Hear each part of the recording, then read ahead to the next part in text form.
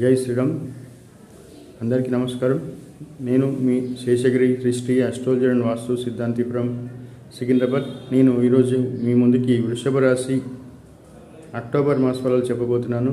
నా ఈ ఛానల్ని ఎవరైతే మొదటిసారి వీక్షిస్తున్నారో దయచేసి సబ్స్క్రైబ్ చేసుకోండి.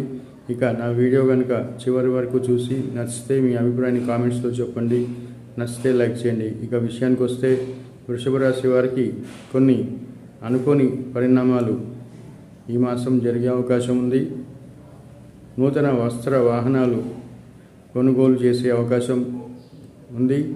అలాగే గృహ మార్పు స్థాన చలన సూచనలు కూడా ఈ మాసం వీరికి ఎక్కువగా కనిపిస్తున్నాయి.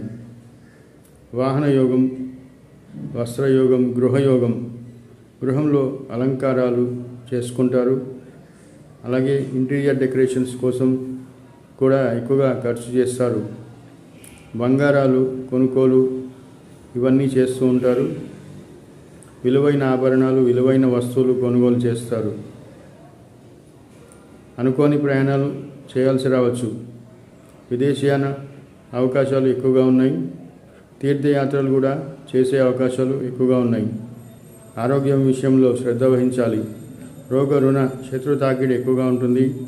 అలాగే అధికారులతో వేధింపులు కూడా మీకు ఈ మాసం ఎక్కువగా ఉంటాయి. మీకు రుణదాతల ఒత్తిడి ఎక్కువగా ఉంటుంది.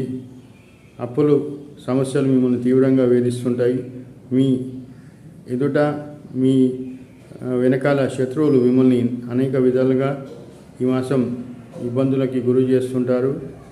పోటీలలో మీరు గెలిచి విజయాన్ని సాధిస్తారు. ఇంటర్వ్యూలలో పిలుపు అందుకొని ఇంటర్వ్యూలలో గెలుస్తారు. క్రీడారంగం వారికి ఈ మాసం అత్యద్భుతంగా ఉన్న కాలం అని చెప్పవచ్చు. క్రీడలలో మీ నైపుణ్యం గుర్తింపుకు వస్తుంది. అలాగే సినిమా రంగం వారికి సాంస్కృతిక రంగం వారికి కళారంగం వారికి విశేషమైన గుర్తింపు కీర్తి ఆదాయం లభిస్తాయి ఈ మాసం. ఈ మాసం అలాగే వీరు విదేశయానం చేయాలనుకుంటున్న వారికైతే ఈ మాసం ద్వితీయార్థంలో అత్యంత అనుకూలంగా ఉంది.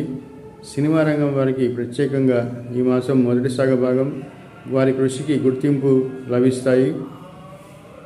వ్యాపారాలకి ముఖ్యంగా వస్త్ర వ్యాపారాలకి ఈ ఈ మాసం అత్యంత లాభకరంగా ఉంటుంది. స్పెక్యులేషన్ జోలికి ఈ మాసం వెళ్ళకుండా ఉండడమే ఉత్తమం. ఎందుకంటే షేర్లలో పెట్టుబడులలో మరియు లాటరీస్ ఇటువంటి రంగాలలో ఈ మాసం నష్ట సూచనలు కనిపిస్తున్నాయి. నా వీడియో కనుక మీకు నచ్చితే లైక్ చేయండి సబ్స్క్రైబ్ చేయండి. మీ యొక్క వ్యక్తిగత జాతకానికి నన్ను సికింద్రాబాద్లో నేరుగా నా ఆఫీస్కి వచ్చి సంప్రదించవచ్చు. లేదా ఫోన్లో కూడా నన్ను అపాయింట్మెంట్ తీసుకొని సంప్రదించవచ్చు. Thank you.